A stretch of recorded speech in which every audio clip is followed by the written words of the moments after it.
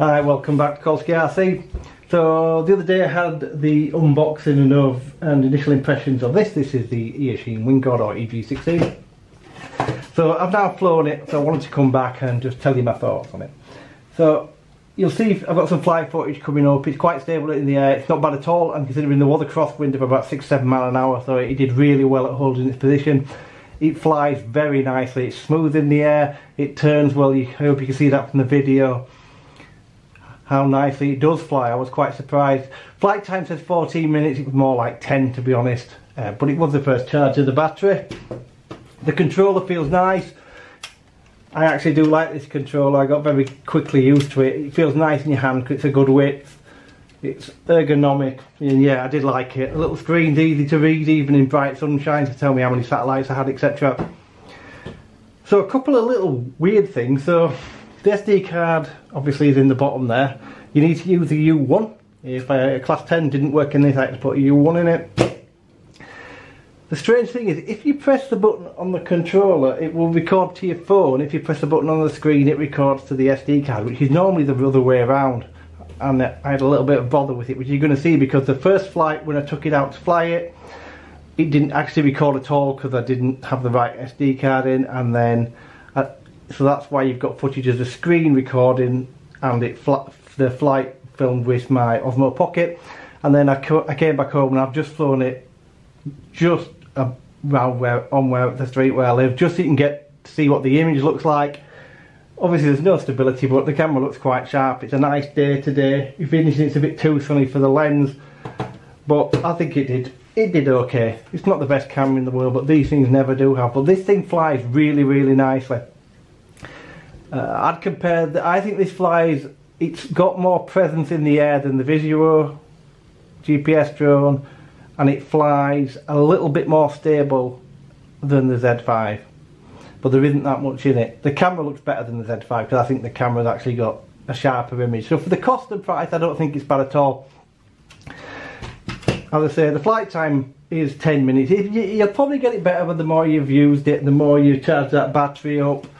But the main thing about it is this thing flies well, and I always say with drones like this, it, it's what you you're buying a drone, especially if it's a, a brushed drone with no stabilisation and no gimbal. What you're buying is a drone to fly.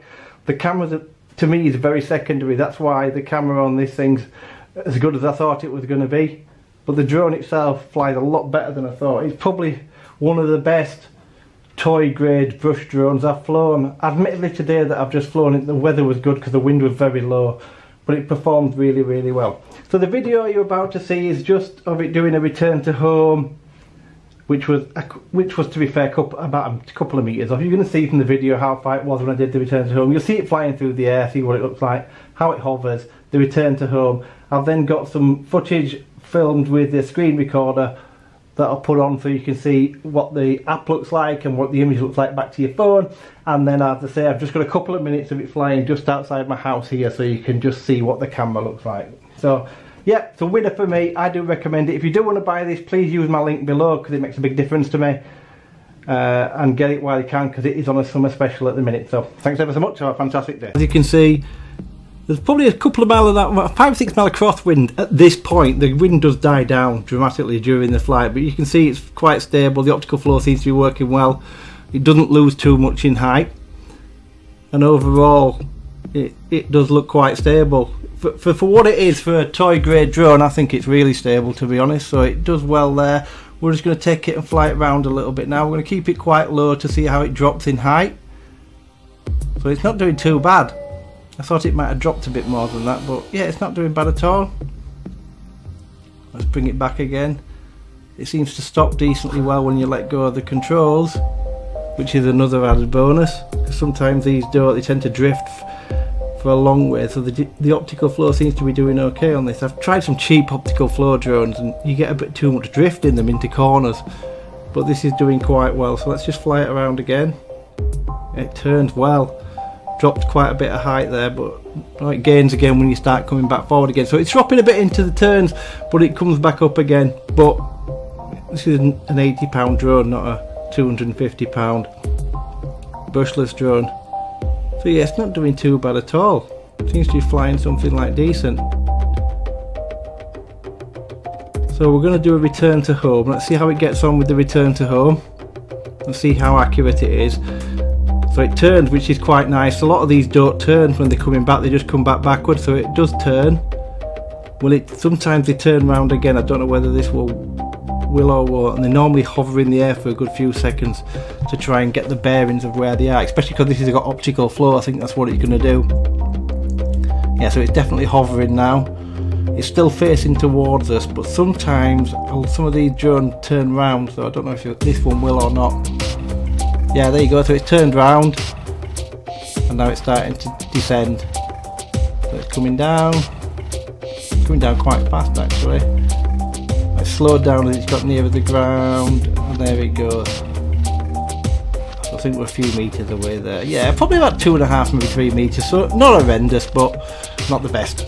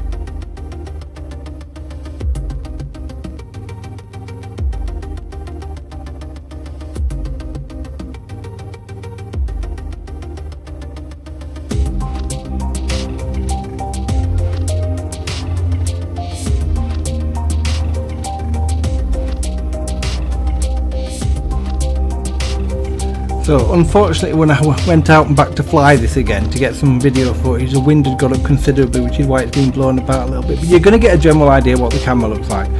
The colours are a bit oversaturated and but it is quite sharp but it's what you expect it's 25 frames per second it records in so it's not doing too bad at all. I, I think it's adequate for what it is. So this is my review on the drone but there's also a load of other features that I haven't tested yet which is like return which is follow me mode and there is a waypoint kind of map thing on there. And then also of course it's got gesture control. I will do another video shortly for this but this is the main thing I wanted to concentrate on what it flew like and does the camera look okay? And I think it's acceptable for the money so tell me what you think in the comments down below